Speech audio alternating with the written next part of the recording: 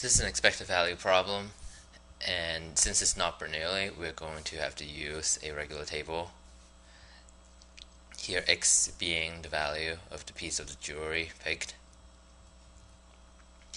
So x can take two value. It's either 40 or 2500 the probability of x is pretty straightforward. There are four pieces of these so here's 4 fifths and one piece of the $2,500 so it's one fifth next we take the product across.